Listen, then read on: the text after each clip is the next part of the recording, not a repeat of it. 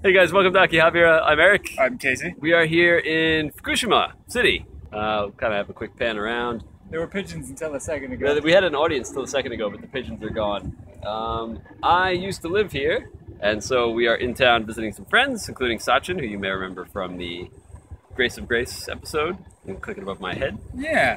Um, so we thought today that we'd pick up a couple Fukushima beers to do a quick little episode we have the Michinoku line. Uh, there were four beers that we saw. There was a Pilsner, a Dunkel, a Weizen, and a peach beer. We So, picked up two of them. Yeah, so we came away with the peach lager.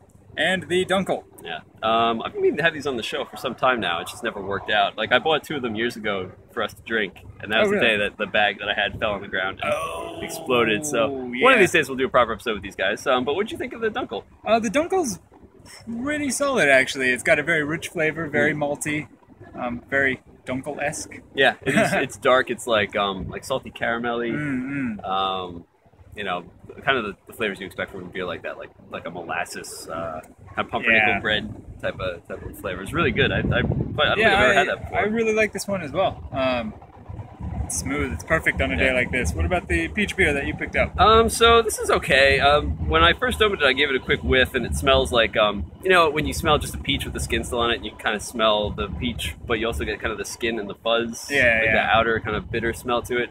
That's what, what the beer t- uh, smelled like at first, and then I went and drank it, and it's mostly like peach, sweet. Um, it's got peach juice and some sort of extra sugar in it.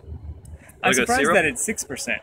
It's a bit Yeah. stronger than normal beer. Yeah, yeah. Um, it tastes very sweet, like you said. Right. It's I would not have guessed it was lower. It's not very malty either. Um, like if I looked on the side before and it said it's only 25 or less than 25 percent Mm. uh, barley concentration, so or malt concentration rather. So it's not very beery, but it's good. It's a nice pink alcoholic beverage. Yeah, Um, I, I, mean, prefer the Dunkel out of the two of them. But, yeah. Um, yeah, I think I kind of do too. Uh, I think the peach one's really good, but I probably prefer the Dunkel. Um, there's still two left that we can do at another time. Maybe yeah, we'll pick some up. a- Maybe we'll do it in an episode coming up soon. Um, the Weizen or the pills, probably the. Huh? Fuck pills. yeah, so we're here for a couple of days. Um, so you're not going to get a real episode this week. We just figured we'd do something real quick, put it up to tide you over until we get back in town, and then we'll be back on our regular schedule next week.